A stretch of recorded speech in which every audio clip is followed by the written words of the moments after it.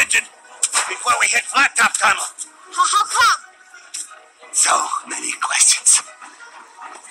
There is but one inch of clearance between the roof of this rattler and the roof of Flat Top Tunnel. Savvy? It's just the run up to the hump, kid. This'll be interesting.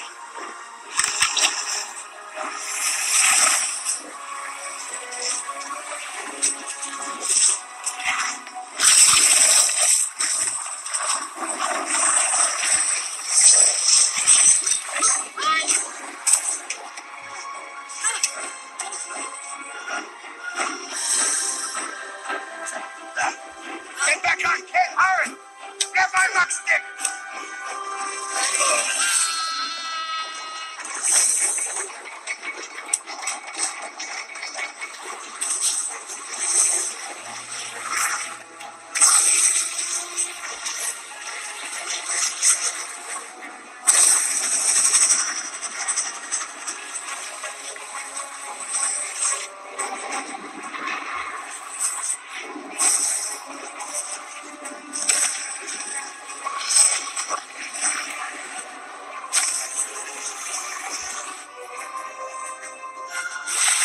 chicken it gets!